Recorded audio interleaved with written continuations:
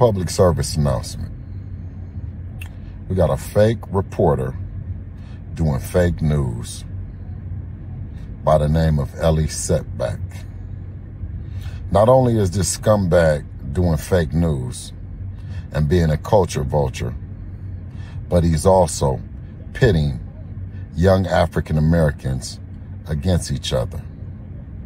Black brothers, brown brothers, and alike. Instead of pushing this boxing agenda forward and asking the right questions and the tough questions, he's creating dissension and division with a microphone and capitalizing on it financially while leaving others to repatch relationships that have been built over quite some time.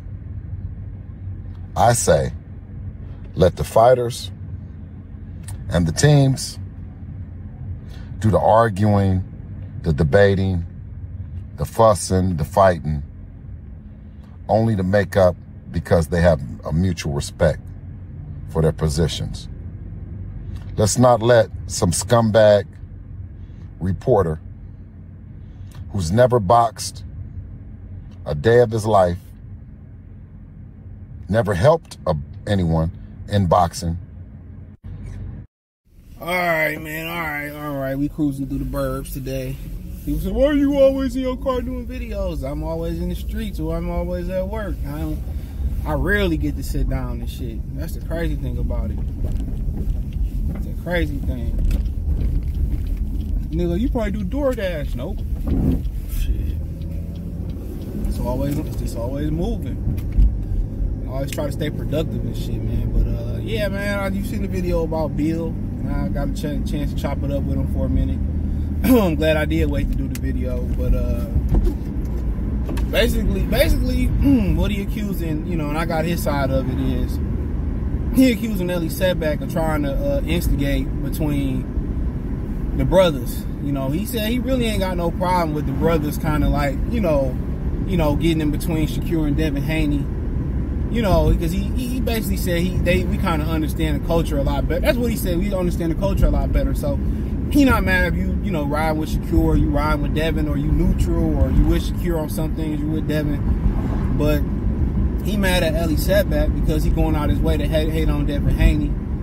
And um, he said that uh, you know Elie going around saying Devin ain't no success, and you know basically what basically what's going on is this, right? Elie Setback is a pro PBC guy, right? So, you know, it's Paulie Malignaggi had a lot to say about Devin Haney, right?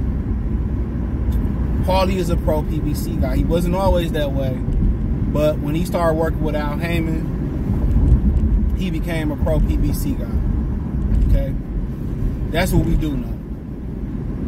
He was dissing Al Haymon before Al Haymon started cutting them checks. Then he started working on Showtime after he fucked with Al Haymon. And um, like I said, the person who, who who pay your bills, you're gonna have loyalty to them. You know, and I say that, say that about women all the time. Like you really know if a woman love you when you get with them when you broke, or you go through something financially, you go through something emotionally, and they able to hold you down, and they don't bitch complain about it right? That's that's how you know. But a lot of these dudes out here get get they use the money to get the woman real quick, and then when they out of mustard, she gone. And, and it, you know, I don't I don't blame the woman. The the the, the, relationship is built off the money. That's like building one of these beautiful houses riding through the burbs, and it's built off styrofoam. It's not a strong foundation. And but nonetheless, they have a strong relationship with PBC and Al Haymon. And if you notice, Leonard Ellerbe does the same thing. Like Leonard, not Leonard. The people don't get mad at Leonard because he a brother. But you see, they tried to put a Mayweather card the same day, and I should have asked him about that. December 9th, and when Mayweather couldn't make the exhibition December 9th, they canceled the December 9th card. So that's their way of being spiteful for Devin Haney for not signing with him. That's what I'm trying to tell you. And Elie Seckbach has an alliance to PBC. So he's going to do their media dirty work.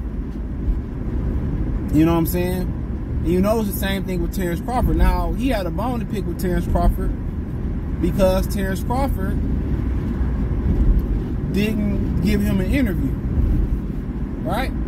Which to me, you don't see me dissing fighters that don't give me an interview. That to me, that's the equivalent of talking to. I talked to a girl at Walmart. She's like, "Nah, I'm good." Like, cool. Trying to holler her. She said, "No, I'm good, cool." I, am gonna look like, man, big nappy head that hoe. You know, bro, you keep it moving.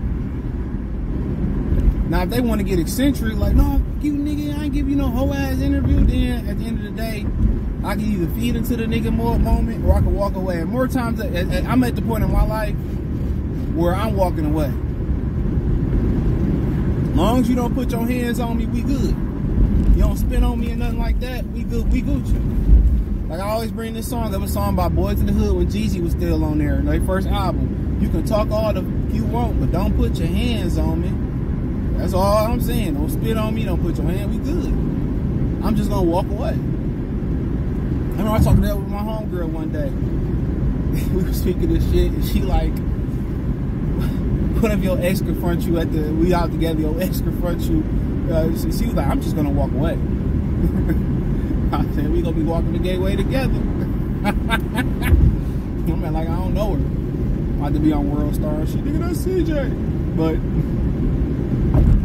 but yeah, man, that's just what. Uh, that's the problem, bro.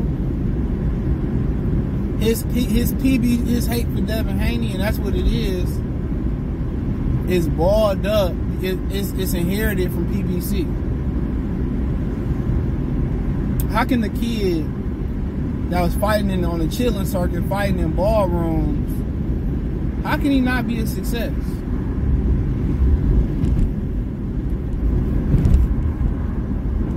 How can he not be a success? From fighting in ballrooms, right? From fighting in ballrooms to making millions of dollars. Oh, he's a private school kid. So was I.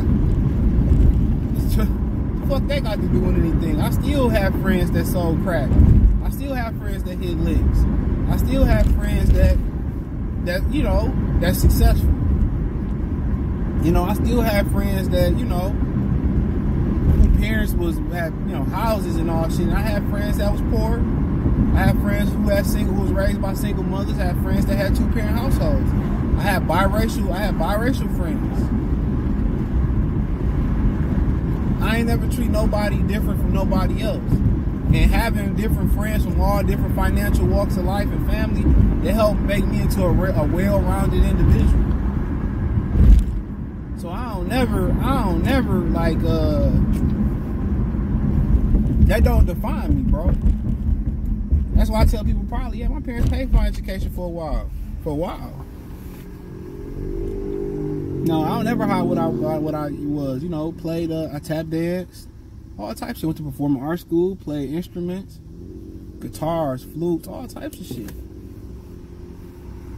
And they want to put that, and a lot of people perpetuate that that stigma a lot of black people perpetuate that stigma, and then you got a guy like Elie Seckbach who perpetuating that shit, or, or the brother at the press conference. Oh, you're a private school kid? Yeah, what they got to do with anything? Being a Dusty and being a Thuggo and being a Pookie ain't no badge of honor, dog. You know, we do, and when we when we become of age, we become teenagers, what do we do? Why why do we, you know, why do we want to be cool and dress nice as, as boys, as young boys and teenagers? To get the women.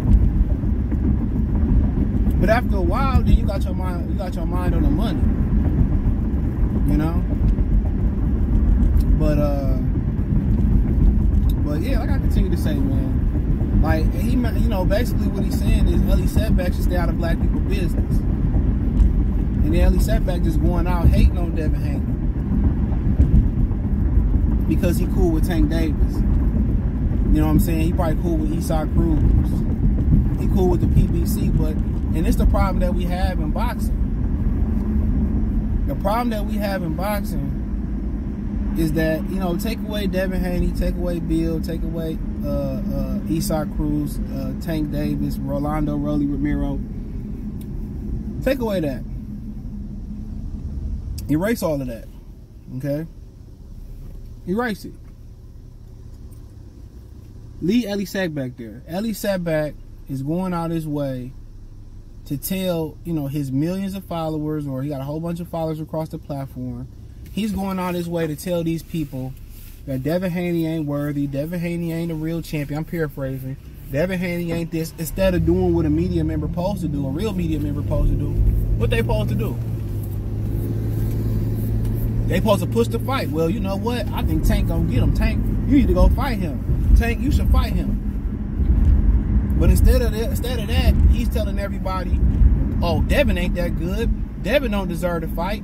Devin, you know, Devin ain't this. Devin ain't." Instead of instead of saying, "You know what? We need to push this fight. We need to push Gervonta and, and Devin. Devin, they need to go ahead and fight." Instead of telling Tank Davis that he need to fight him and putting pressure to fight him, what we doing now? We putting we telling fans that oh he ain't that good. Y'all really don't want to see that fight. That fight ain't shit. Let's go see Tank fight Isaac Cruz.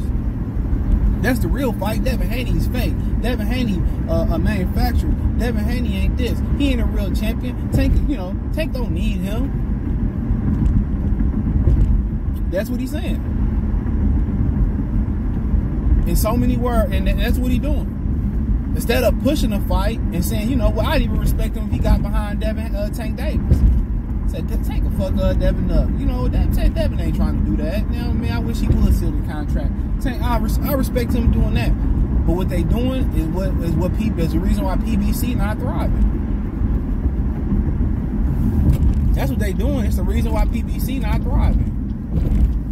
And the reason why PBC why PBC not thriving, the reason why PBC not thriving is because they don't want to make the fights that people want to see when people want to see the fights. That's why they not thriving. And Elie Seckbach is that's what he doing. That's why he hating on all this Devin Haney stuff. He trying to deter people from wanting to see Devin fight Tank Davis and fight the top fighters. And now what they gonna try to do, what these PBC dudes do, they gonna try to pit Shakur against Devin Haney because they want Shakur and Devin Haney to take each other out. So Tank Davis have an easier time instead of Tank Davis, you know, being the one that he called them and picking these guys off one by one and beating them, right? And showing that he is pound for pound worthy, showing that he is the best fighter in the world, showing that he is the face of boxing, but he don't ever got to show it. That just lets you know it's a dick pulling contest. It's a aka it's a popularity contest. That's what it is. It's a popularity contest.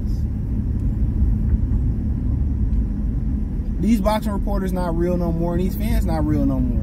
And a media, like Elie Seckbach got a lot to do with it. Elie, do your job and push for these fights. Don't push against these fights, Elie.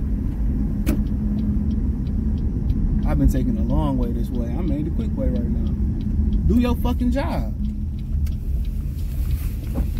Instead of just hate and get and get away with it because you can, because you're popular. And you know ain't nobody gonna put no hands on you, so that's why people feel comfortable to say what they want to say. Like I always make the analogy. It's like when the teacher and security around in school. Don't nobody really talk greasy. As soon as that teacher walk out the classroom, right? As soon as the teacher walk out the classroom and shit, the dude, the, the other dude quiet as hell. As soon as we get in that locker room, I remember real quick, we in the locker room or whatever, right? And we used to, uh, you know, we used to uh, be in the locker room with the uh, a grade above us, the seventh graders, eighth graders, whatever. And um, they like, uh, so I, I don't know what we was beefing over. You know, it's a rivalry. Both, you know, we both young or whatever. I still got to up at the beauty supply. We both young or whatever, right? So just talk shit, little rivalry, whatever, and you know, some guys would be quiet and they start like coming at me. So, you know, I'm like, man, you know, I'm in a new school, so I'm like, nigga, what up? They're like, oh, you gonna say something, man, nigga, what up? We square it up, bop, bop, bop, bop. You know how I go. Like, dude, this shit ain't sweet. Like, I'm gonna say something. But, you know, it wasn't nobody around, no teacher, no nothing. So, yeah, you ain't gonna punk me. And that, and that, you know, that is what it is, bro. So he can be able to talk all that tough shit because he able to talk all that tough shit because he know ain't nobody gonna touch him. You know, and I can't say why. Kanye West, I can't say that word. You know I can't say it, but uh, it is what it is, man. Thumbs up the video, share the video, subscribe to the channel. That subscribe button is the bell icon button. Hit all notifications, increase your chance, get notifications. We go live or drop video. Financially, want to support the channel. Cash App, dollar sign, CJ Good 313, Venmo, CJ Good 313, PayPal link in the description. Hit the link tree, find me on Twitter, Instagram, Spotify, Anchor, Cash App, Venmo, PayPal, Apple Podcasts, Google Podcasts, all nine. Check out the Boxman's playlist. Hit the link tree. You can find me everywhere. Peace.